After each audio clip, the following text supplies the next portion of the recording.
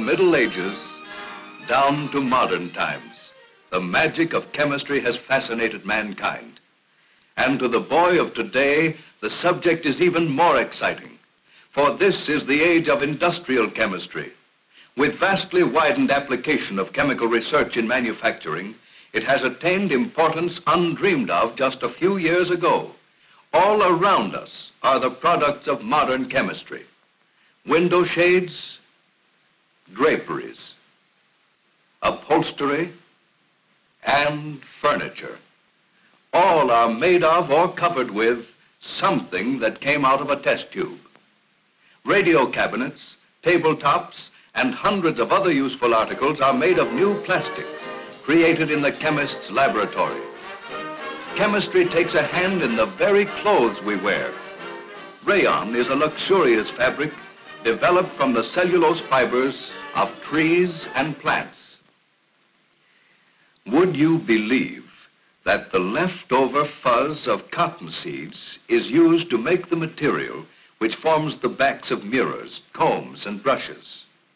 Yes, the lowly cottonseed, through a chemical process, is turned into something much prettier than ivory that can be made in all the colors of the rainbow. But unlike natural ivory, this material won't crack or discolor with age. Chemistry is responsible, too, for the gossamer-like threads of these new stockings. By a miracle of modern science, such commonplace things as coal, water, and air have been transformed into threads more elastic than silk, spun from filaments even finer than those of a spider's web, yet many times as strong. Raining. Then it's chemistry to the rescue. Something that came out of a test tube is going to protect her from that shower. Here, folded into a compact little package, is a transparent raincoat rainproof like rubber.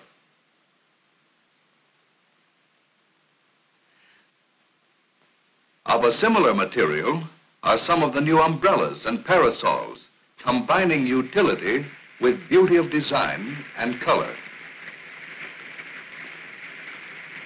Now let it rain.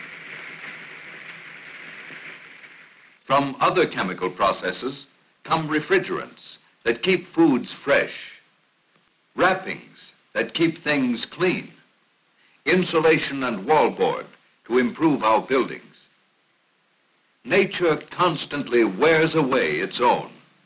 Left to themselves, materials eventually decay. The pitted side of a rock, the rotting wood of a fence post, and the rusting odds and ends in the neighborhood junkyard all bear testimony to the destructive forces of air, wind, and water. Cleopatra's Needle, the famous Egyptian obelisk in Central Park, New York, is centuries old. Over all these years, nature's forces have attacked the stone. But now it has been sprayed with a finish that will preserve the famous stone pillar for centuries to come.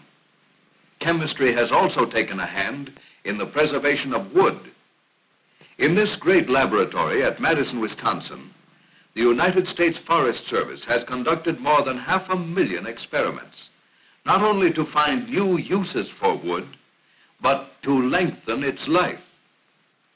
And now, fence posts, telegraph poles, any wooden product used outdoors will do a better job of defying the elements. Another natural product made better by chemistry is rubber. Years of research were necessary in order to improve the product. And then testing in great machines, subjecting it to terrific punishment.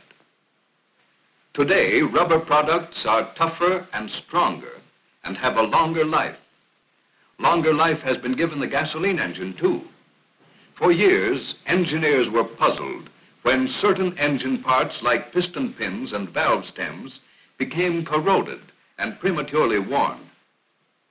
The engineers called upon the chemists who traced the corrosion to sulfuric acid fumes formed in the engine. As a result of their studies, this ventilating system was developed to draw clean air through the engine, carrying off the harmful fumes and giving our automobiles a longer, useful life. The prevention of rust is another concern of the industrial chemist. Here, we see what happens when an ordinary nail is left outdoors for a long period.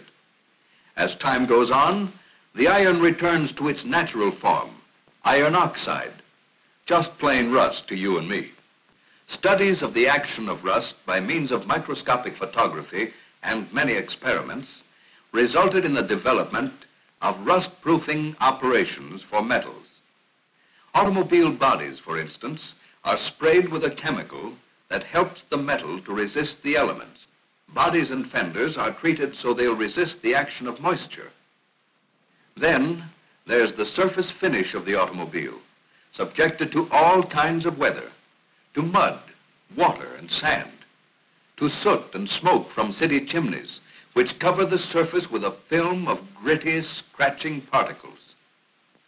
Snow, rain, or sleet do their best to dull the gloss. And even in clear weather, there's always the gentle dew, another enemy of the finish. But chemical research has developed a finish to resist such attacks. Panels of metal covered with different types of finish are constantly tested in special machines. 30 hours in this machine under strong ultraviolet rays is equal to a solid year under the burning rays of a tropical sun. Now, the test panels are placed in the weatherometer. Here they are subjected to another ultraviolet ray treatment under intense heat. The machine revolves hour after hour, and each test panel gets a bath with every revolution, as well as intense light and heat. From the heat of the weatherometer, the test panels go into the sub-freezing temperature of a special refrigerator.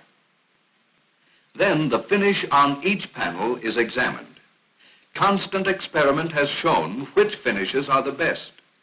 And the result of years of patient chemical research is the surface finish used on today's most modern cars, combining with its protective qualities the radiance of sparkling colors.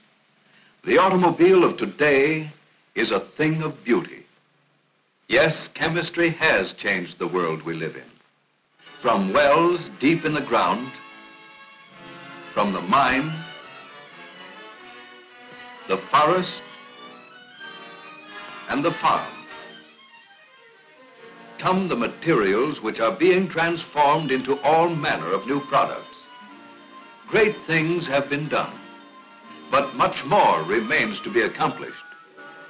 Some young man, perhaps one watching this very picture, may develop a startling new formula from a test tube experiment, may give the world finer things to use, to wear, to better man's health. In this new world of industrial chemistry, the horizon is unlimited. Unexplored potentialities beckon. Hidden secrets of nature sound a call to this young man, the industrial chemist, the pioneer of tomorrow.